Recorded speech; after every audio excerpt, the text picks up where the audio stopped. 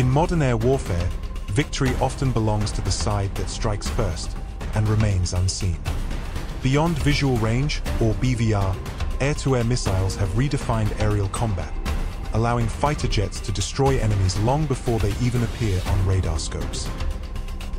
BVR missiles are designed to engage targets at distances far beyond the pilot's visual sightline, often over 100 kilometers away.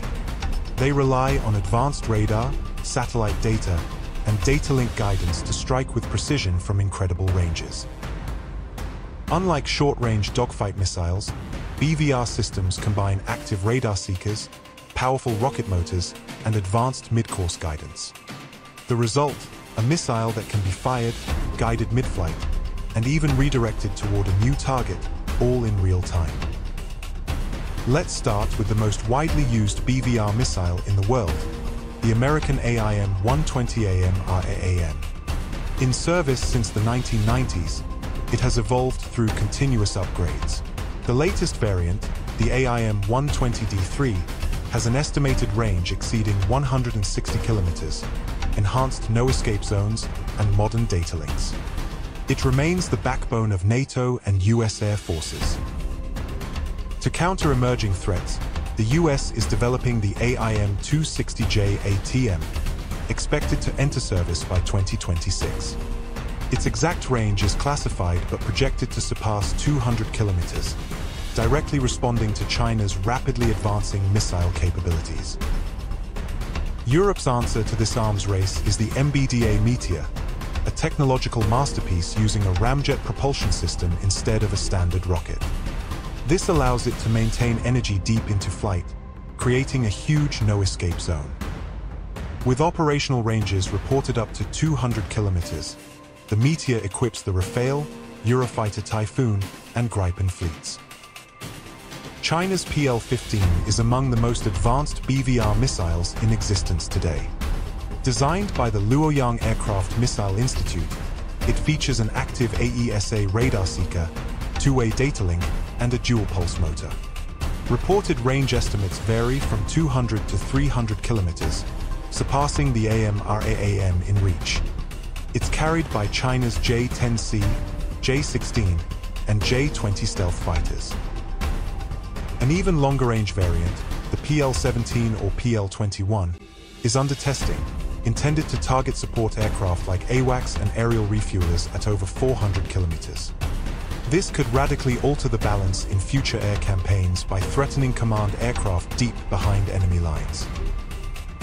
Russia, meanwhile, relies on the R-77 series and its heavyweight cousin, the R-37M. The R-77-1 remains a workhorse BVR missile for Su-35 and MiG-35 fighters, with a range around 110 kilometers. The R-37M, however, can reach 300 kilometers and speeds up to Mach 6, optimized for killing high-value targets such as AWACS or bombers. Other nations are catching up. India is developing the Astra Mk2 and Mk3, with expected ranges up to 160 kilometers, while Japan's AAM-4B uses an AESA seeker for precise tracking. Even smaller powers are racing to join the BVR club, realizing that modern air combat is increasingly decided beyond sight. In BVR warfare, range alone doesn't guarantee victory. The actual edge comes from networked sensors, real-time data sharing, and electronic countermeasures. Modern fighters rely on AWACS, ground radars, and satellite links to feed targeting data mid-flight, making aerial warfare as much about information as weaponry. The result?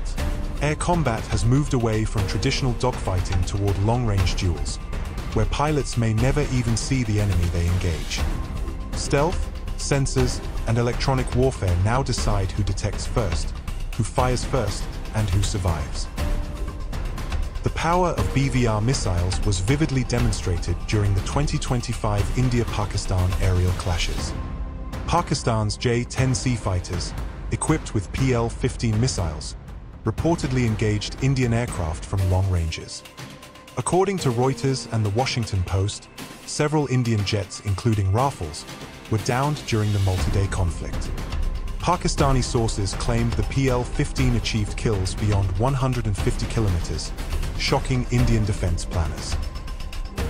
In the future, air forces will prioritize sensor integration, longer-ranged interceptors, improved electronic warfare, and tactics to protect AEW systems and tankers, while procurement races will push doctrine towards standoff engagement and layered air defense suppression. BVR missiles have completely changed how dogfights play out. It's no longer about who sees who first, but who fires first. If you found that fascinating, drop a like, subscribe, and let us know in the comments what weapon systems we should cover next.